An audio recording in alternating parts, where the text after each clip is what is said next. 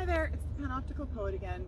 Today I am joining you from Prince George, BC, and I am standing outside the gates of Tent City, which is also known as Moccasin Flats. Um, I have been doing some advocacy work with a group of people in Prince George who on Facebook is called Together We Stand, and uh, they're a group of people with some amazing volunteers who are doing work to advocate for people that are homeless. Um, the reason that I am doing this work and I wrote this poem that I'm about to read you is because the mayor and council of this area and the federal and provincial representatives who for some reason keep getting reelected and have been running this area for far too long in my opinion um, are not really doing a lot to assist all of the citizens of this city. And they have also in the midst of an opioid crisis and a housing crisis across BC they have chosen to pass one of the most cruel bylaws, that's what it's being termed in the news, um, that has been seen in Canada for a while. And this bylaw criminalizes people that are homeless.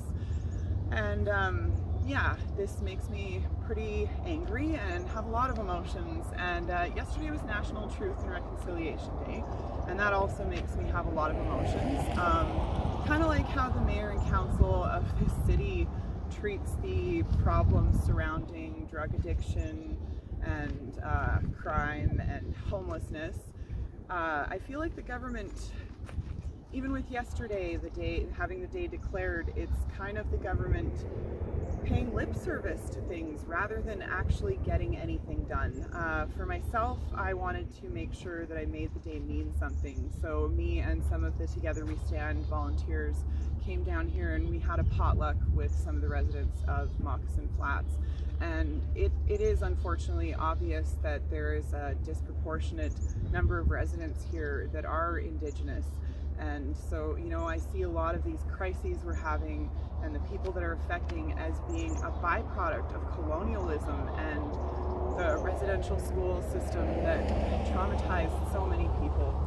Um, so I'm, I'm wearing an orange shirt for this video and I was lucky enough to be gifted this orange shirt yesterday and it was uh, designed by uh, an amazing artist here in Prince George. His name is Clayton Gauthier and Kym Gouchie was drumming at the park yesterday when I went. and She also has designed an orange shirt. So if you're getting an orange shirt, please make sure that you're buying one from somebody who will use the proceeds to help with these issues.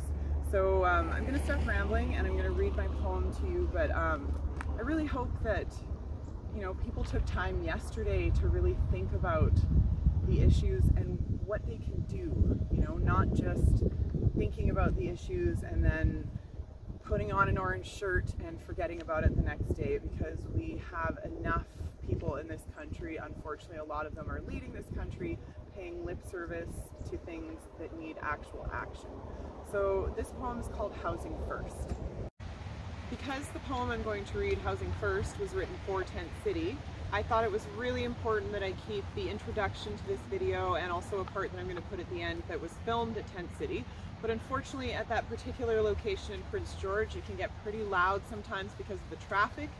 And um, when I started reading, the poem just got totally drowned out. And it has a message that I think is really, really important. So, um, and uh, speaking of important messages, I'm wearing my orange shirt again for National Truth and Reconciliation Day, and this particular shirt was designed by Clayton Gauthier.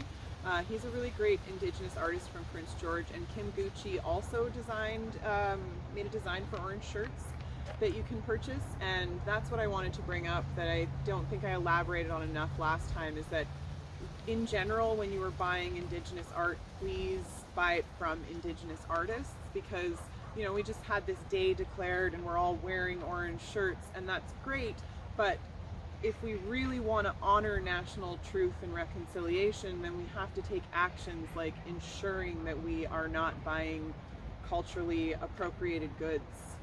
So um, I'm going to go ahead and read this poem now, Housing First, which was written about Tent City and about just the general lack of care for people who are homeless in Prince George and in BC.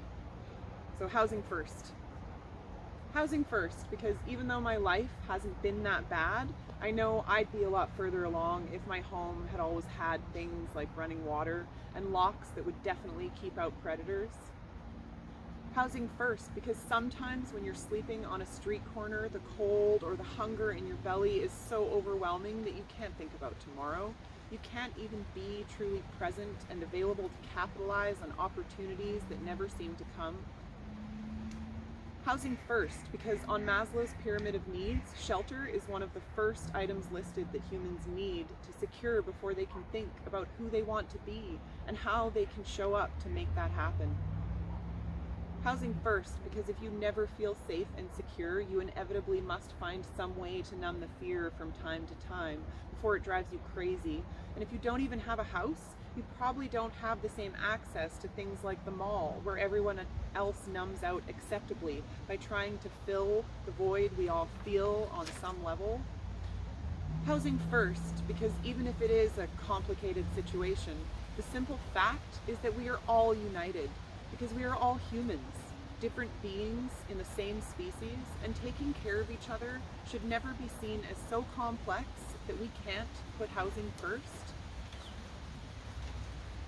So I guess, um, yeah, I'm asking the people that are running Prince George to start thinking about how they can put housing first and make sure that all the citizens of this city are safe. Because I know that Prince George gets a bad rap and I am very glad that I live in the Kootenays again but I lived here for 14 years and there's a lot of beauty in this city a lot of beauty in the people here and we're all living beings that deserve respect for just that. So that's why I say please put housing first and think about what actions you can take to help the people and the land around you because together we can make a difference. So I don't know what else I can say. Thank you so much for taking the time to watch this video. Panoptical Poet out.